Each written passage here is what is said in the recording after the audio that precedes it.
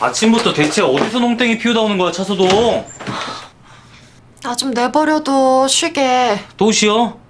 넌 요새 사무실에 잠자려고 출근하냐? 너무한다고 생각 안 해?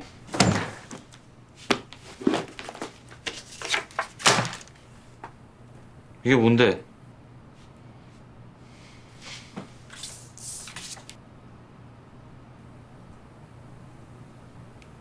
이거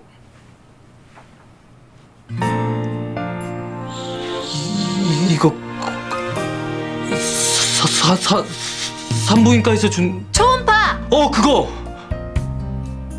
너 혹시, 존다고 구박하고 많이 먹는다고 구박하고 그게 다 걔 때문이었어 알아? 그럼 너, 서동아!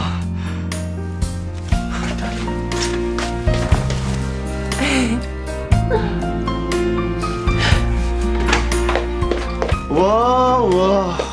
야, 왜 이러냐? 내 컨디션은 생각 안 하냐? 나 아빠 된다, 정서봐.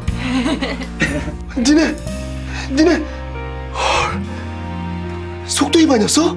아니거든 임신 축하합니다. 임신 축하합니다. 사랑하는 서동이의 임신 축하합니다.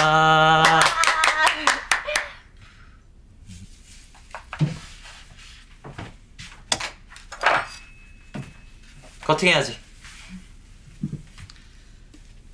많이 먹어. 네가 제일 좋아하는 치즈케이크잖아.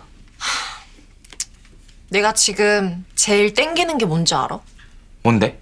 맥주 야, 맥주는 술이잖아. 알콜. 이럴 줄 알았으면은 진작에 맥주 좀 실컷 마셔놓을 걸 열 달 동안 못 마실 거 아니야 어쩌냐. 아, 요새 무알콜 맥주 같은 게 있다던데? 너처럼 술이 땡기는 임산부를 위해서. 내가 무알콜 맥주 사다 놓을게. 그럼 됐지? 취하려고 마시는 건데 무알콜 맥주를 왜 마시냐? 말이 돼? 그럼 대신 나도 너랑 같이 열 달 동안 금주할게. 진짜? 진짜지. 부부는 일심 동체니까. 근데 정섭 오빠 유혹이 만만치 않을 텐데 걔는 무생물 취급하면 돼. 약속? 약속. 약속 지켜